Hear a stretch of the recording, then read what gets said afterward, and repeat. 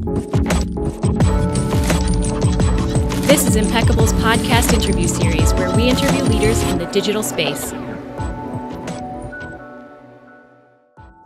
Hi, I'm Pek CEO, founder of Impekable. And in today's episode, we will be talking to Prakash Chandran, an amazing designer, ex Googler designer, entrepreneur, founder. And uh, we want to learn more about things like design at Google, his journey, his life in general, and how he came to be here. So, Prakash, welcome to the show. It's so great to be here. And, uh, you know, you, you and I have known each other for probably what, seven, eight years now. And uh, for a long time, been, yes. Yeah, yeah, it's been an amazing journey. Uh, so we we met at a co-working space, if I recall, and uh, you know, I was very I, I learned that you were uh, a designer at Picasa, and for those of you who don't remember or know about Picasa, it was an amazing uh, desktop photo sharing uh, application that was extremely well designed and extremely performant. But I'd love to kind of unpack that and, and, your journey. Yeah, I'm happy to talk about the journey. Um, you know, I I basically spent a lot of my uh, I guess childhood into college um, dabbling in computing like a lot of people our age uh, do. And I won't say what our age is, but uh, you know, it was a time when we used to play things like Doom and Quake, uh, and the internet was really just coming about. And at the time, um, when I was in high school, I remember I uh, started a little web design company with my friend. And when I say company, it was just him and I, um, because we wanted to actually start publishing our strategies for Doom, um, which is oh, wow. an online game online. And then so we learned like how to build websites on GeoCities, and then we started developing it for other people because my mom started telling people like, "Hey, my son knows how to how to make websites. I love your mom voice. yeah, my son knows how to make websites, and so you should pay him to do that for you. Um, they're gonna be a thing one day, you know. That's what she she always say. Um, oh, she was right, and she was right, and she was right. And so throughout um, throughout college, I was doing web design, so I had a lot of experience in Photoshop. And one of the things, one of the unique things that I did uh, in, in college over the summer is I, I used to work at this software. It was like a software booth at a swap meet. And next door to that software booth was this guy named Ron Lopez. And what he used to do was image editing. So, it, like for example, let's say you, uh, you know, now we have apps to do all of this, but let's say you were closing your eyes in a picture and you wanted to open them up. You would have to go to some professional that knew Photoshop really well to do this. I was always fascinated by this. So I you know, I went to sit down with him, and over the summer when I wasn't working in this booth, I would sit down and he would teach me like feathering techniques and the stamp tool and all these cool things in Photoshop, which then gave me like the uh, prowess to be able to actually work my way in Photoshop very well. So after after uh, I graduated college, I had all this practical like design experience, and um, I had a lot of client work under my belt. And so it basically got to the point where I was able to parlay that into a profession. Even though I didn't realize what I was doing at the time, I was able to like parlay that. And uh, I took an, an internship in, in Santa Barbara, actually, working at this company called uh, Go to My PC.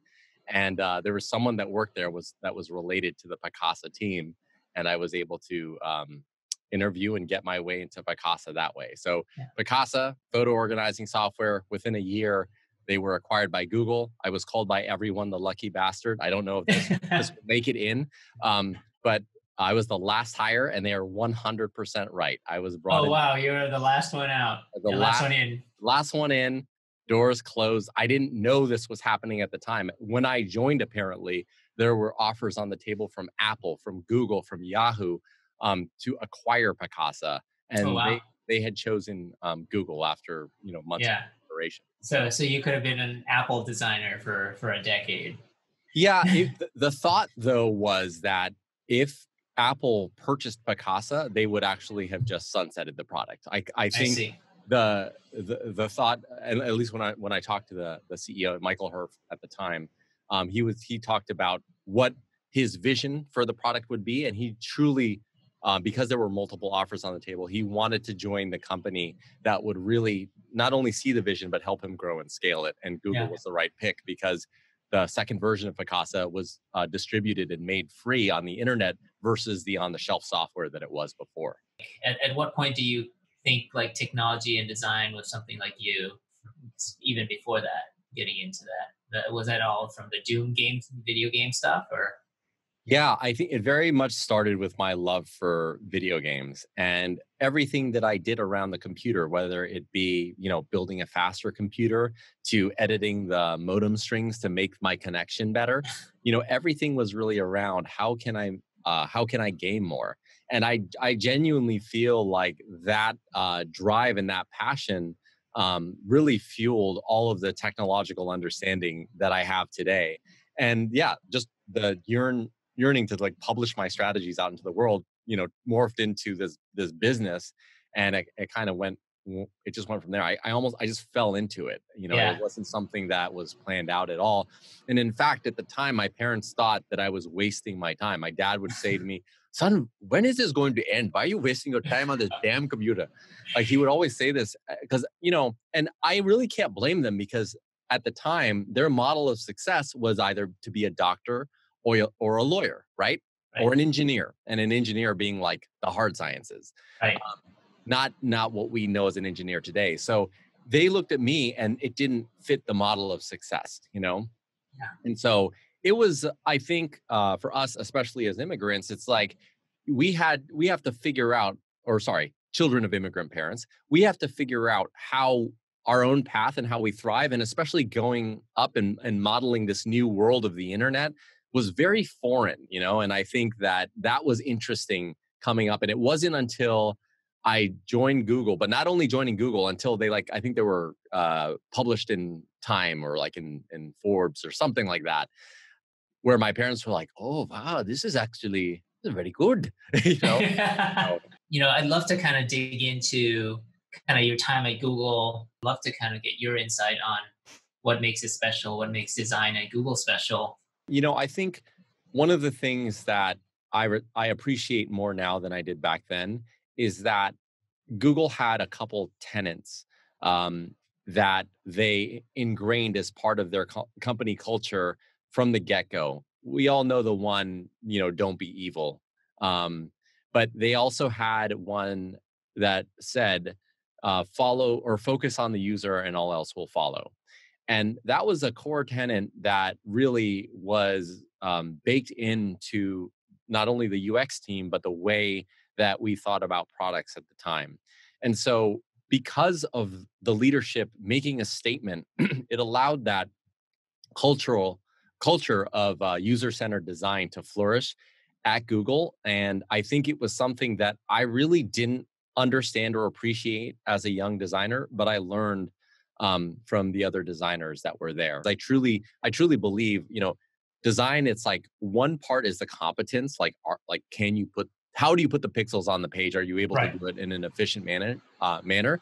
Um, but then I guess there's the culture of design, and part of that is like being able to share your work, being able to talk about your work, being able to be an advocate um, and champion um, your work throughout the organization and then solicit feedback in a way that's going to be productive and doesn't damage your ego but is going to be collaborative. Um, so i think there's so many facets to being a good designer and you know better than anyone that that needs to be trained and instilled very early on in someone's design career. Yeah and not just uh, damaging your ego but but the the client's ego for example right? Like they they since they're not designers, they're they may not be able to express what they want or, or looking for in a good way, and it's very it can be very easy to put down the client say, because they don't know what they don't know. Uh, so you have to kind of learn these soft skills on kind of diplomacy, right?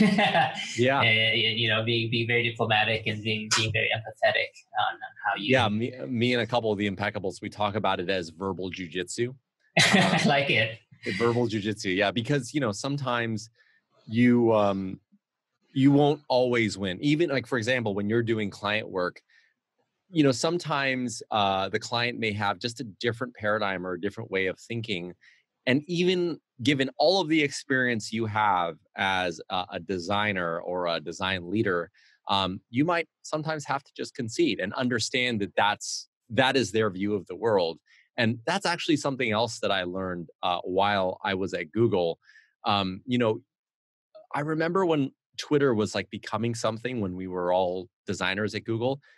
I, along with many other well-known designers who I won't name, thought that it was the stupidest thing in the world. It was like, what a what a dumb idea. Like, who is going to who's going to use a platform like this? Um, but it just goes to show you. I mean, look at where Twitter is today. I mean, like arguably slightly undervalued, but everyone is on Twitter, right? Yeah. And it has changed the way we think about like this text-based medium and they've just introduced this new term of the tweet that we never thought would be a thing. I remember when the tweet came out, it, it felt like a joke in the beginning. So I think one of the things that I have learned, not only from that example, but in doing work with clients at Impekable, is that you you might think you know um, given your experience but you may not you know people they sometimes their perspectives their perspectives matter and you have yeah. to be able to understand that you are weaving into their narrative um, as a designer. And it's your job not to tell them what to do, but to, again, be collaborative and make sure that they're able to express their vision um, in the right way. Now, I'd love to kind of move on to the next chapter. At some point, you decided to to leave Google and and start a business, and yep. that brings me to your next chapter. I think uh, in your life, in your career, from from a designer to to an entrepreneur.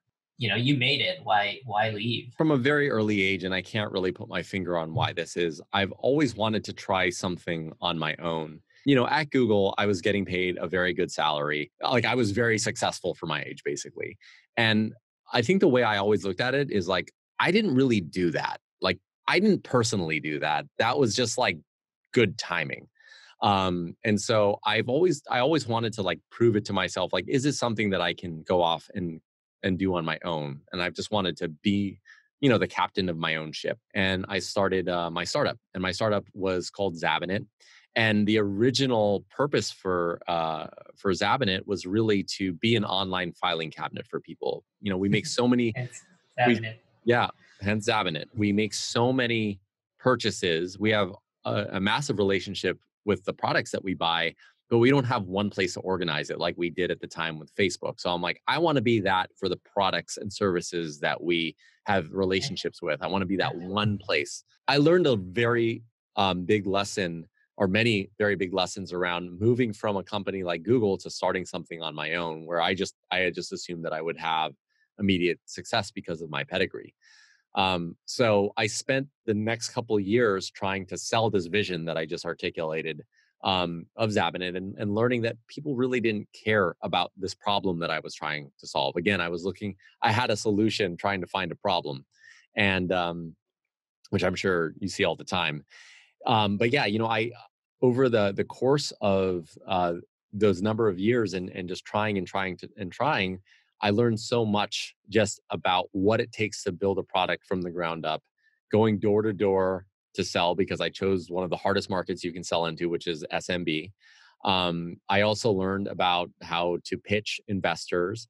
Uh, I learned how to fail a lot. I basically say I, I spent three and a half years getting the crap kicked out of me. Um, but what a learning experience it was. And I would not be the person that I am today were it not for Zabinit. Yeah.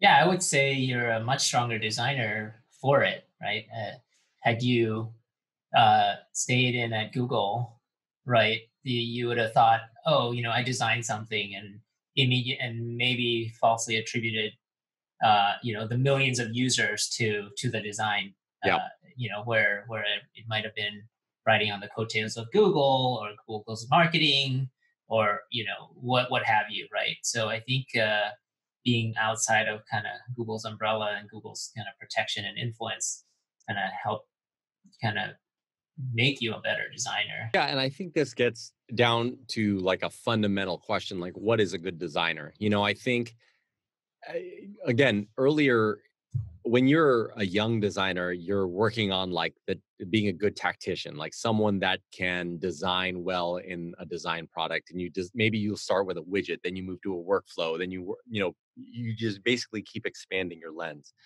But in the field of user experience, my view of it is once you become a good designer, you need to always, you will inevitably evolve into a product person. And what I mean by that is it's not just about the design, it's like, what does the entire experience look like? And how are you able to measure your success as a designer in that experience? So, you know, it's not just design tools, it's also product engagement metrics. And it's also being able to, to really, um, you know, codify the principles of your design and how it actually affects conversion and retention. And so um, I didn't come to realize that really until pretty much quite recently. But that's like my my my best piece of advice to young designers is just to ready themselves for that evolution because if they just stick with design tools which are getting better and better um, you know you're gonna fit you're gonna blend in with every other designer that's out there there's a lot of amazing great designers um, but the more you can evolve into the horizontal customer experience person that understands product and product engagement and the way your design influences that um, you know the better you're going to be. Well thank you so much prakash. Um, we really appreciate it. I love hearing your story and i've always wanted to share your story with the rest of the world and we're very honored that you're uh, working with us you know i've known you much longer than uh, you know we've been working together and it's finally an honor that you're, you're working with Impekable.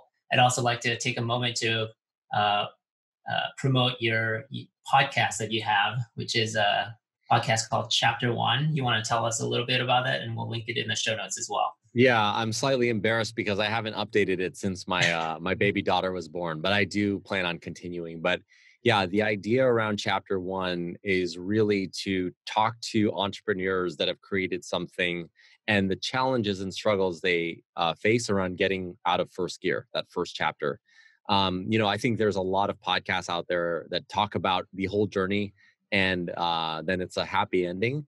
But that first bit of time, that getting out of first gear is oftentimes the, that's the most formidable time.